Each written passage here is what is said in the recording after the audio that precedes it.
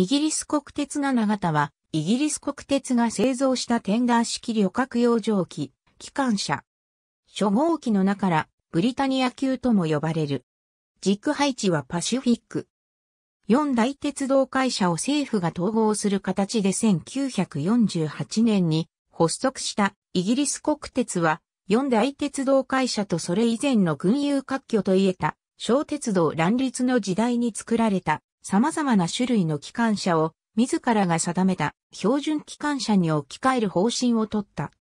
それに伴い設計、製造された機関車群の一つが本形式であり、また、その第一弾でもあった。四大鉄道時代の高性能旅客機関車が3、シリンダーや4シリンダーを採用していたのに対し、本機は保守の容易さとその費用削減を狙って、あえて2シリンダーとした。また、初期投資が上がってまでもその後のランニングコスト低減と稼働率アップを考慮し、全軸ローラーベアリングを採用した。さらに、イギリスの蒸気機関車としては珍しく、配管や部品を外部に露出させている。1951年1月から1954年9月にかけて55両がクルー工場で製造された。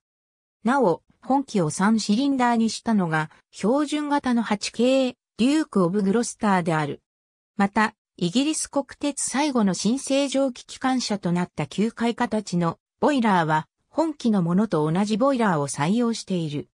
イギリス国鉄自体の動力近代化の煽りを受け、1968年8月の7万13号機、イギリス国鉄7型蒸気機関車7万13号機、オリバー・クロムウェル引退によって全社が廃車となった。2両が現存する。トップナンバーの7万号機、イギリス国鉄7型蒸気機関車7万号機、ブリタニアが列車運行会社ロコモティブサービス社参加のロイヤルスコット号保存会で最後に廃車となった7万13号機がヨーク鉄道博物館の手でいずれも動体保存されている。7万号機は当初鉄道博物館の展示候補となっていたが、内部の状態が悪かったためリストから除外され、代わりに7万13号機が展示されることとなった。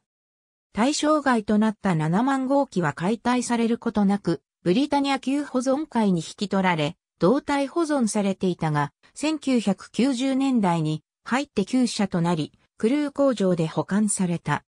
元国鉄職員 SLI 効果の音楽、プロデューサーピート・ウォーターマンを経て、現在のロイヤルスコット号保存会に譲渡され、落成60周年となる2011年に動体復元された。